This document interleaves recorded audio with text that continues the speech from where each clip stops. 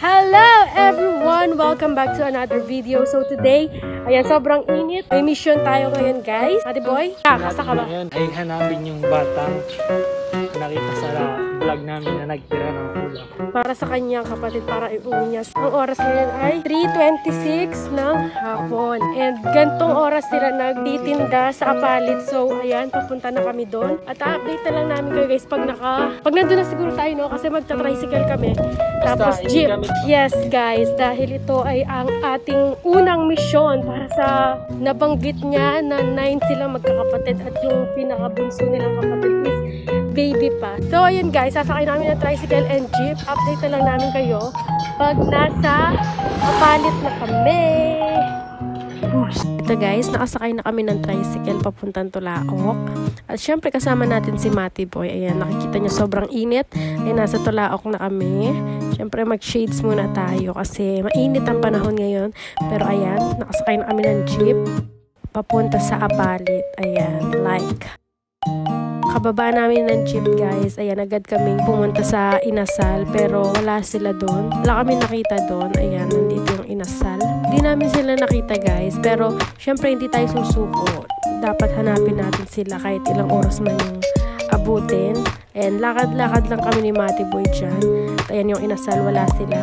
So pumunta kami agad sa Save More kasi doon namin sila na unang nakita.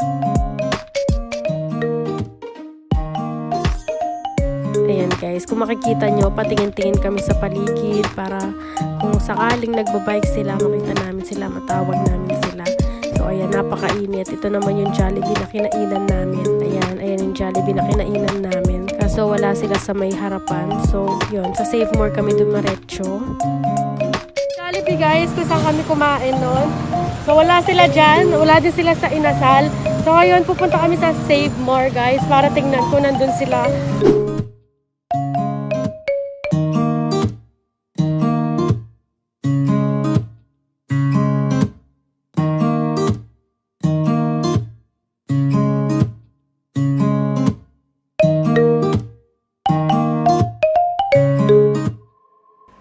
Part na to guys, 4.15 na ng hapon, still hindi pa rin namin sila nakikita.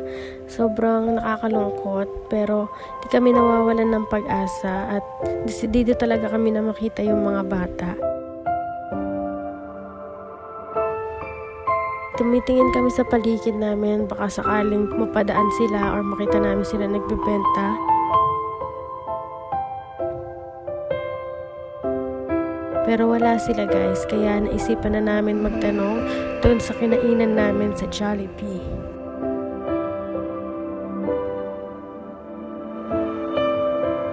Nila kung di McDonald? Dati. Wala sila niyan kuya, hindi na sila. Nandyan yan. Oo, nandyan yan. Tingnan nyo sa map ko. Anong oras kanina umaga? Baga pa eh. Nasa siguro, siguro ah, mga alas 8. Inanap namin sila kuya eh. Nandito, lagi naman nandito yun. Tingnan kaya natin sa inasal. Nakita ko pa lang sa makina sa kayo ng pagkapasok ko. Eh, ngayon kuya? Kanina pa. Hmm. Basta tatlo lang pupuntahan niya kasi Magtatanong kami. Kung di ba ako dito, tapos mga dasal. Sige po, thank you po. So yun guys. Nagtanong kami doon kasi kilala nila yung mga nagtitinda ng basahan. So, ngayon, titingnan namin sila ulit sa Mang Inasal. Kung nandun sila. Kasi sabi ni Kuya, nakita niya daw sila kanina ang umaga. Di namin alam kung umuwi na sila or nandito pa rin sila. Pero ayun, di kami titigil para mahanap natin sila guys. Babalikan namin sila sa inasal kasi kung mapapanood nyo yung last video namin, doon namin sila huling nakita. Babaka sakali ulit tayo.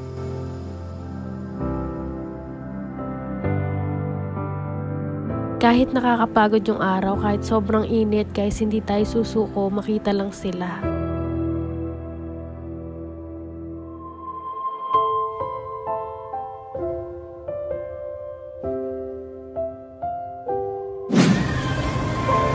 Kuya, pwede magtanong? May ano po, nakita po kayo mga bata dito, nagtitinda ng basahan. Anong oras po? Hindi na po sila babalik yan? So, ayun guys, narinig nyo naman na wala doon sa inasal yung mga hinahanap namin. So, kahit sobrang init, ayan, sobrang tirig na tirig yung araw, hindi pa rin tayo titigil guys. Babalik ulit kami sa Makto. Baka sakaling nandoon sila.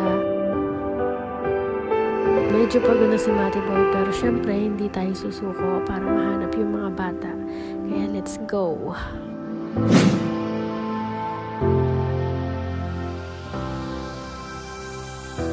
Kasi talaga namin sila mahanap ilang oras kami naghintay dito.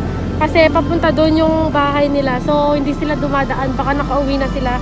Tapos, ayan, sasakay namin tricycle guys. Pagtatanong na lang namin sila doon sa sinabi nilang address. Yes, let's go. Sasakay na kami tricycle. Sumakay na kami ng tricycle kasi kanina nagdadalawang isip kami kung sasakay ba kami or hindi kasi baka wala din sila dun sa bahay nila at nagtitinda pa sila sa labas. Pero syempre, ayan sabi ko nga hindi tayo susuko kaya nakipagsabay-bayan na tayo.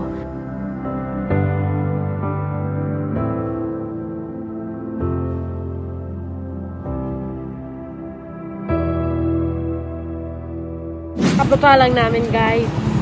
At pagtatanong na namin kung saan sila yung Matthew. Ate, pwede po magtanong? Ano kasi yan?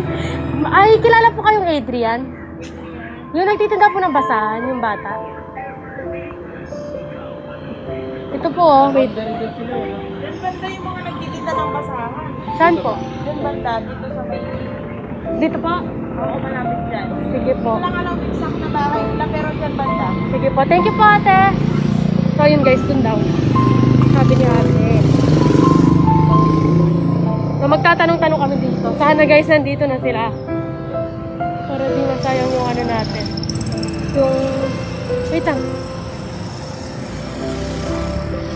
Yan.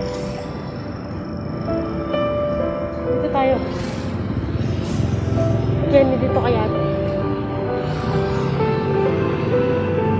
Ate, pwede magtanong? Meron kayong kilalang Adrian? Adrian, Yung nagbaba, nag, nagtitinda ng basahan? Yung bata? Talapuroy. Doon po? Mga batang dala. Opo. Sige po. Thank you, ate. Ah, sige po. Dito po banda? Sige po. Thank, thank you, ate. So, ito na guys. Narinig nyo naman dito sa banda. Pero sana, yun, hindi ba yun yung nakabike? Pero sana nandito si Adrian. Let's go. Huwag mo ko pa ba dito? Guys, tingnan.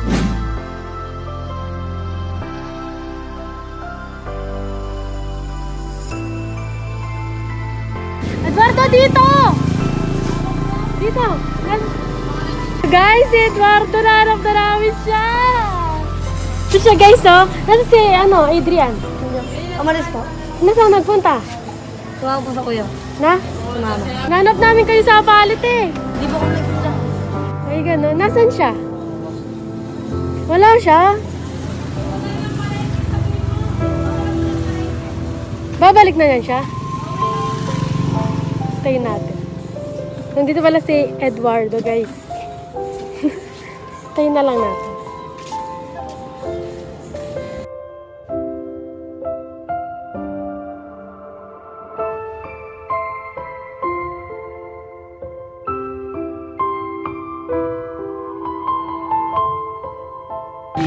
Eduardo. Kaya pa rin sila. Kasi mga kapatid mo. Wala si mama mo. Serbian pa mo sana namin si mama mo. Ate ko lang po yan. Pwede tayo doon sa bahay niyo? Natatakot ako sa... May si ate daw ah. Kaway ko kay ate.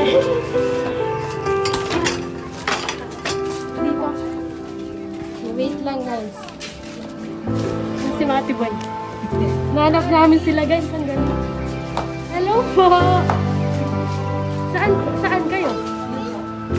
Saan kayo natutulog? Si mama mo? Sino sa kasama niyo dyan? Guys, automatic yung phone nila. oh. Yo! Ayan, guys, nandito na ako sa kanila. Hello! Ay, kapat magkakapatid kayo? Ayan si Eduardo, guys. Si Adrian, wala pa siya. Saan kayo natutulog? Dito po. Isinundo yata ni Adrian yung papa niyo, sabi niya. Bumili po ata ulam siya. Kasi nagtinda po siya. Pag nagtinda po Siya lang mag-isa? Hindi po, may kasama po siya magtinda. Pag nagtinda po siya, umuwi po sila. Tapos bibili po sila ng ulam. Share, share. Hmm, sila yung nagpo-provide ng ano nila. Tapos papa po nila, yun po yung mag, ano, magbabayad sa bahay. Hinulugan na po yung bahay. Ito? Ano po to, paupahan. One, ay, 2.5 po. 2.5 a month. Opo, tapos kuryente nila, 1.2. Paano yung, kunwari, bigas, ganun? Share sila, ito, tsaka si Ah, ano lang, kilo-kilo lang. isang piso. Tapos pagkakasyahin po. So, ano binibili nilang ulam, mga ganun? Ano po, yung lutong ulam, depende po sa gusto nila. Minsan, laki nilang sila. Grade 1 pala ko yun yung hanap buhay namin. Tagal na. Tagal din po. 22 years na. Magkano yung napa, na, magkano po yung na, kinikita ni tatay? Minsan, minsan naka 500, minsan 300. Tulad nung lunes, wala mo siya kano kumita. Kulang pa po. No? May asa kami, hulugan kasi linggo-linggo. 1 to yung kay papa ko. Hindi siya nakapag-uwi.